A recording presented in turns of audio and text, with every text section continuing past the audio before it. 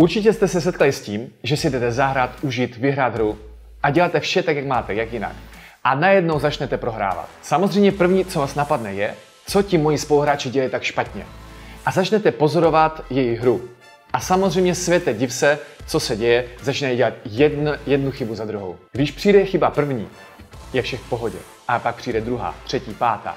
V tu chvíli už jim musím něco říct. A tady to všechno začíná.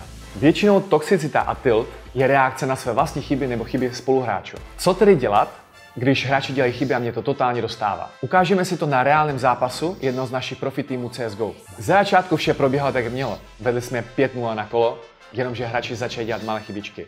A to někdy zcela až základní. Ono by to nebyl takový problém, jenže náš si toho všiml a začal hráčům chyby vytýkat.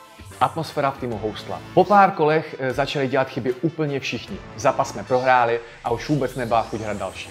Nejlepší, co pro teammate mohl udělat, je podpořit ho, povzbudit a společně se sfokusovat na další objektivy. Protože většinou to každý ví, když to svému týmu prohrává. A pokud to náhodou neví, tak se s vámi bude hádat do poslední kapky krve, že on to dělá naprosto skvěle. To je přirozená obranná reakce. Za druhé, když se ty chyby v vašem týmu opakují a je nutné opravit, vždy je řešte po zápase během analýzy, replaye. Tam už všichni máte chladnou hlavu a dokážete to společně vyřešit konstruktivně. Při zápase má totiž každý spoustu emocí a může reagovat podrážděně až zcela neadekvátně. Co ještě mohl pro tým udělat, je soustředit se na svoji bezchybnou hru a tím mít maximální impact na výhru. Když se soustředíte na ostatní, tak vám nezbývá moc času ani fokusu sám na sebe. A na to, jak zvládnout své vlastní chyby, se podíváme příště.